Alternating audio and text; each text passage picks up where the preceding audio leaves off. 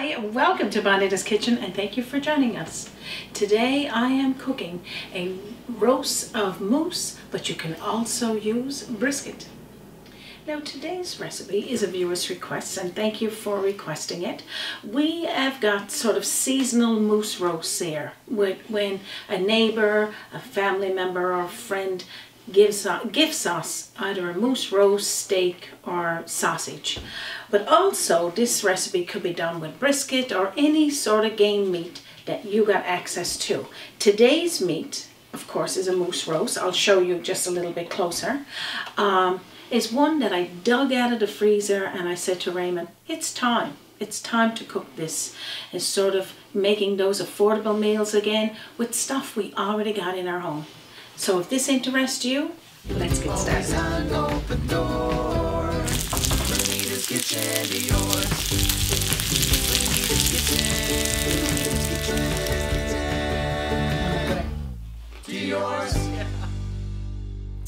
Now as you can see here, we got a nice roast of moose meat. It's a darker meat and it don't, this is a bone, this is a big old bone here, so it don't have any marbling, any fat. So as you can see over here to the side, I got some uh, trimmings of meat uh, from um, uh, the suet, you can call it, or if you don't have trimmings of your fresh meat, you could use uh, salted beef, if those of you that got access to it. So what I'm going to do here first, I'm going to season this uh, roast up on both sides. And this is going to be slow cooked here today. This is sort of another one of those slow cooked meals that you can either do in your slow cooker or you could uh, put it in your roaster slow cook it in the oven or put it in your skillet electric skillet. So I'm going to turn on the skillet here now just to fry off each side of my roast and then I'll show you. What was yeah, that right? No what I was saying like you're saying like but slow cooked and stuff mm -hmm. like this this is a perfect idea if you got company coming tomorrow or something. You could have everything prepared the day in advance type thing. Oh, you it? could. You can you can most certainly do that, yeah. or uh, just put it in in the morning, mm -hmm. and then at supper time you got a, a beautiful meal. Yeah. That'll be another way to do it. Good on you, Raymond, for just thinking of that. I tell you, not too shabby on so this I'm side. just going to do a drizzle of oil.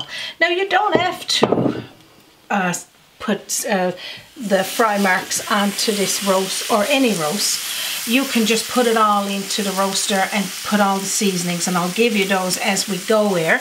Oh, but I like frying it off first so that it's got that nice uh, marbling on there and the flavor. I'm gonna put some of those I got about a cup full of the the meat, meat trimmings there from the roast.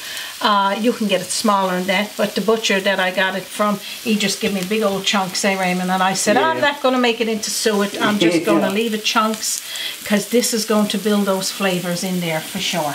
Mm. Now, a lot of the times when I don't have like the meat trimmings um, already in my freezer, because if I get a roast, I got too much uh, fat on there, I usually take that off and I freeze it so I can have it in advance. But I do ask the butcher. They don't always, if they're watching here today, they don't always want to give us that trimmings because it's probably not uh, a part of their store regulations, but sometimes they do have it in the freeze, freezer section. So ask them of that. This again today is a slow cooked roast that we're doing because we don't, any kind of game meat is very tough and you want to build those flavors. I can remember when I was a child and dad would cook a roast and he would do it in our wood stove um, and it'd be on a slow heat. I'm, I'm sure Raymond can remember this because oh, he'd have one going probably on a Friday night or a Saturday yeah. night and it's all about building those flavors. So that's where I got that little trick from and I'll, I'll share that one with you as we go. But I just want to fry off this. I'm going to tell you a few of the ingredients as we go, of course. But let's get back to this uh, cooking of this roast. Frying it on both sides. So right now, all I'm letting that do is cook a little bit, maybe a couple of minutes on each side. I'll flip it in a moment. But I got a nice little bunch here of rosemary and thyme that I'm going to be using, a nice fresh bunch. And if you wanted to have that nice smoky flavor, like you're slow cooking it outside on the barbecue or if you're doing it in a, uh, a smoker, this is called liquid smoke and you only need about a half a teaspoonful of that to get that smoky flavour. Really puts that flavor there. Hickory, Sure, hickory yeah, flavour, isn't it? flavour, Yeah. And and I mean, a lot of the times, this is what it's about. it's about building flavours. You're going to see here today as well. I'm going to um, mix all of this together with some vegetables, and we'll show you those. I'm going to flip this roast in a moment, and then we'll show you that. And if you don't have fresh rosemary or thyme, you could use dried. And if you don't have either one of those and you got savory, you could use savory. That'll give it a nice little flavor. In here in this bowl, I got some chopped carrots, turnip, a, a potato, celery, and I got onions, um, with some garlic, Worcestershire sauce, and I got some steak sauce here, but you can also use a couple of tablespoonfuls of barbecue sauce. That's just to give that extra added flavor, and a couple of cups of beef broth, or you could use your OXO cubes in some water, whatever you got available. So let's flip that roast now and see what he looks like. I know. He smells so good. Smell the smell and the sound, and just looking from this side of the camera, like with all the vegetables there, It's lovely, isn't it? looking Oh yummy God. already. We got a feast today. Flip this roast over. And if, uh, might have to scream a little bit here now because my fryer is gone. But if you got a roast that's frozen, let it thaw. Let it thaw in the fridge overnight. Cook it off the next day when you're ready to use it. So now let's start building those flavors. And I hope that I'm making everybody's mouth just drooling out there from uh, cooking up this roast. Because like you said, If, if if it's not, I'll, I'll let them know that I'm drooling Yeah. just as much. you are, I know Raymond, you're right, ready for this. Yeah. And this is where it's important. The same thing with a brisket, making sure it's got that building of flavors to bring up, up bring it up a notch is what I'm going to mm-hmm. say. So what I'm doing here, you could again do this in a roaster, your skillet, your slow cooker. So this is called like a six to eight hour meal that's going to take a little bit to do. So put your vegetables on the bottom and right now what we're going to do, we're going to take this roast, let's see how he is on this side. Yeah. Looking good? Yeah, I'm going to take this roast and put on top of the vegetables.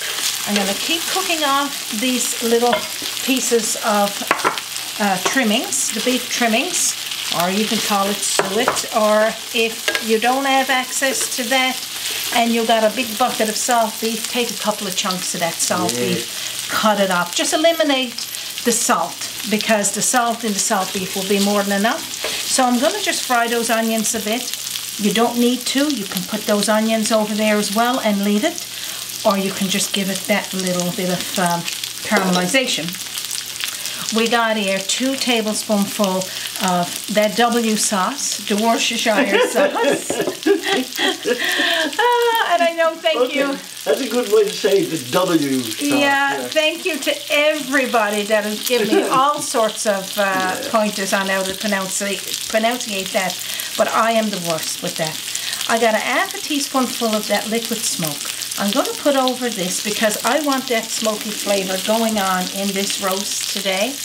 And I got the two tablespoonfuls of that steak sauce. Now, it pretty much, the steak sauce, um, got a flavor in its own that is good. But my dad would say, just build those flavors, kick it up a notch, and that's what we're doing here You today. to be careful you stop around uh, duplicate. Oh yeah, he's fine. And I got two chunks of garlic. I'm just going to put them in their hole. So I'm going to check this, tell you some more what we're going to do. Okay, so now what I'm going to do, I'm actually I'm going to fry off a piece of this rosemary in there just to get that flavor going. And the same thing with the thyme. Just put it in with the with the rest of that uh, shavings of meat. And I'm going to put the rest of them here over this uh, moose roast. And again, if you're using a brisket, pretty much do the same thing. But also what you have to remember, use the flavors that your family enjoy eating because if you don't like any of those ingredients I'm putting in there and you want to add in your flavors, that's fine. But just build them. Build all of them together and then slow cook it. I'm going to put this over now into my pot. It's almost like I got fireworks here today, Yeah, right? You hear it? Yeah. That's the that's the rosemary and the thyme popping there when the when the heat hits it.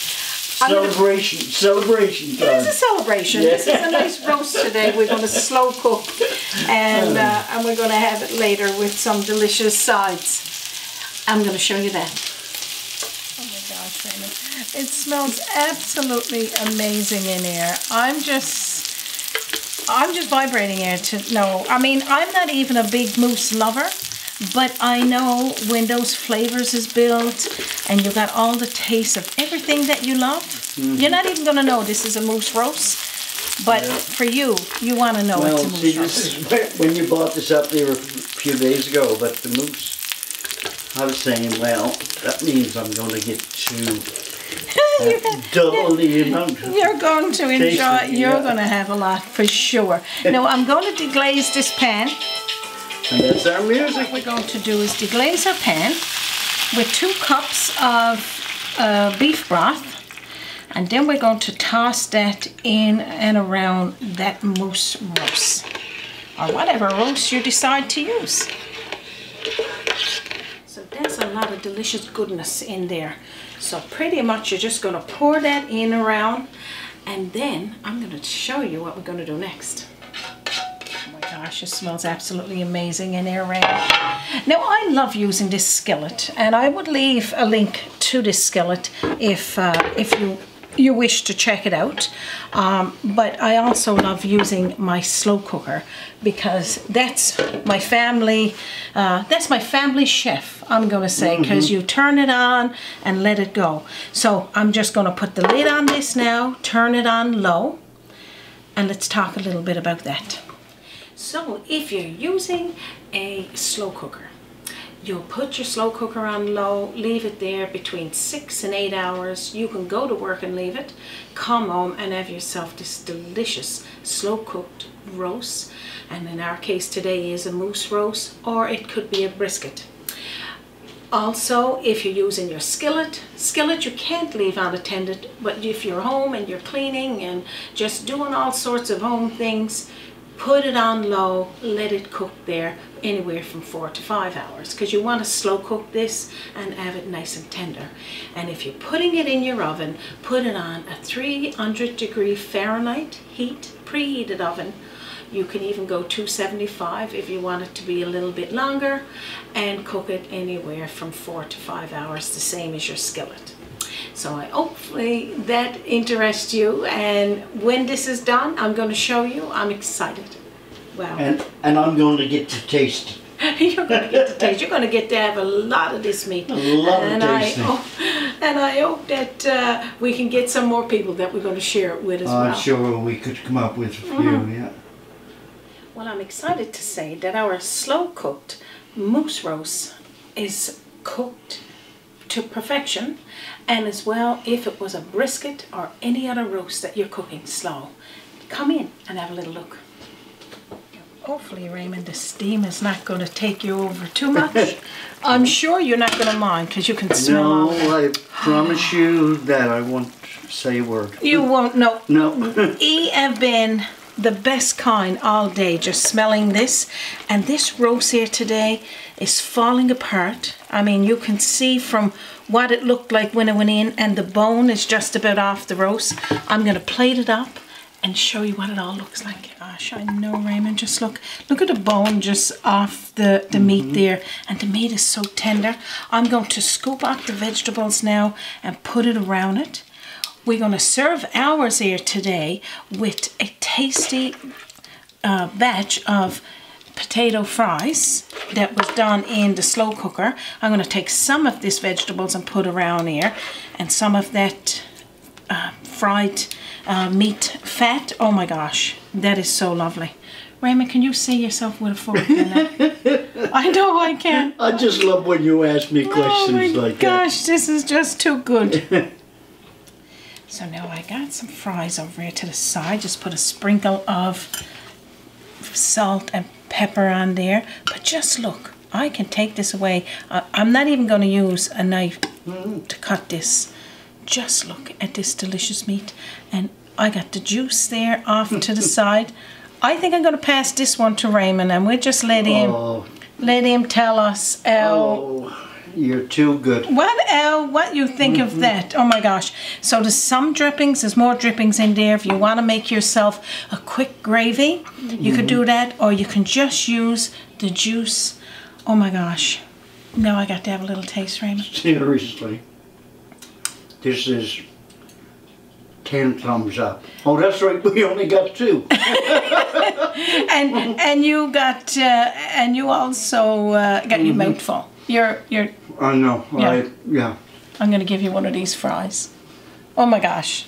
Too good to eat. Now I'm gonna get my fork. Okay, sounds good. I think if you let this slow cook any more, Raymond, it would actually been just gravy in our pot. Well, I, I was, I was going to say soup because it's, I know. Yeah. But that's what it's about. It's about cooking it slow, building those flavors, and putting the flavors in there that you enjoy eating. Now I'm going to have a little taste. I got a little bit of that fried um, fat there as well. Oh my gosh.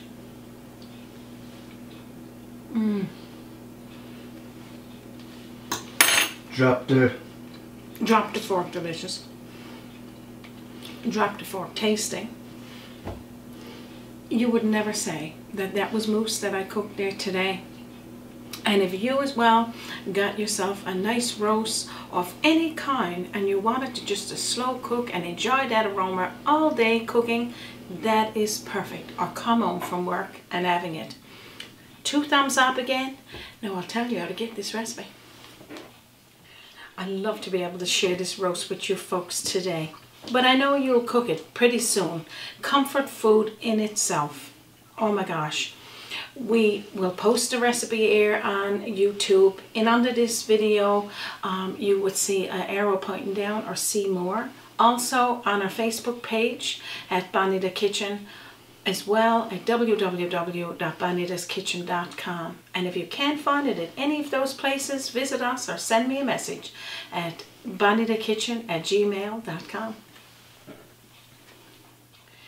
I'm not going to take any more of your time. We know it's precious, and I know we've enjoyed you guys stopping by here today. On behalf of myself, Raymond, and our team, and from our kitchen to yours, thank you for joining us, and you have a wonderful day. Oh my gosh, I'm going to have a fry. I think I'll try one of them little fries. Oh my goodness. that might. Mm-hmm. Yum. Join us by the sea. Our journey in culinary. Always on open doors. Bonita's kitchen to yours. Kitchen. kitchen. And don't forget to join us again on Bonita's Kitchen.